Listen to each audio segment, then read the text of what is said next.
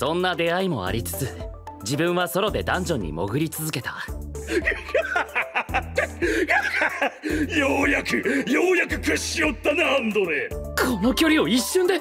お前たちの大好きな神とやらのもとへ行くがよい。貴様その指は契約者か。第7話アースボスに挑む。